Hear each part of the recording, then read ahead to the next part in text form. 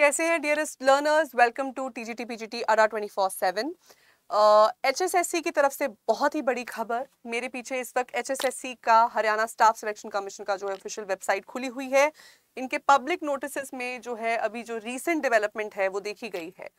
तो H S S C T G T की जो पोस्ट रिलीज़ हुई थी, जिसकी जो है पूरे हरियाणा रेस्ट ऑफ़ हरियाणा में बात कैडर की ठीक है? और जिसकी फॉर्म फिलिंग्स की डेट अगर आपको याद हो 23 फरवरी से शुरू हुई थी और लास्ट फॉर्म फिलिंग डेट थी 15 मार्च।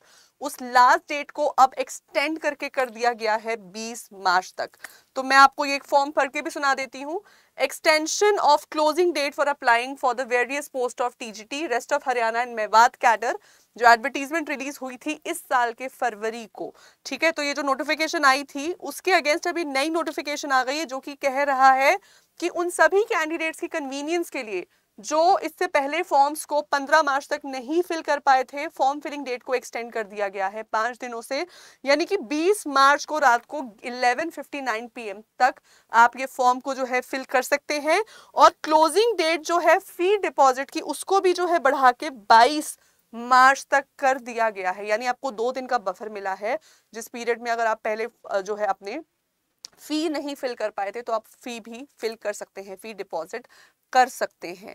क्या इससे एग्ज़ाम में कोई डिले आएगा? नहीं, ऐसा कुछ नहीं होने वाला है। एग्ज़ाम ये बहुत जल्दी से जल्दी होने की संभावना है, लेकिन उन सब लोगों के लिए बहुत ही बड़ी खुशखबरी है, जो कि इस एग्ज़ाम में फॉर्म फिल नहीं कर पाए थे, लेकिन उनके एच क्वालिफाइड थे, उन सब के लिए बहुत ही बड़ी खुशखबरी है।